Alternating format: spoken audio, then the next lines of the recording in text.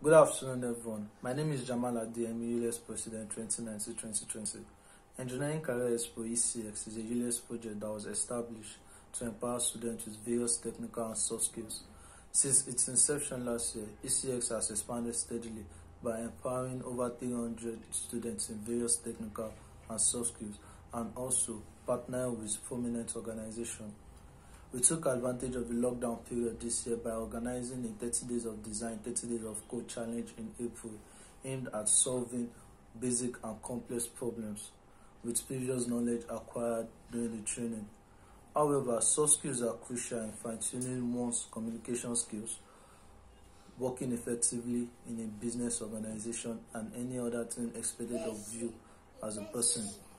On this note, I hereby welcome us all to the next conference what next in a post-pandemic world, and also employing us to maximize this great opportunity to the best.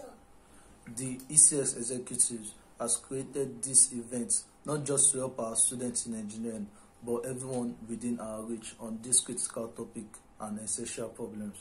Thank you very much for your time.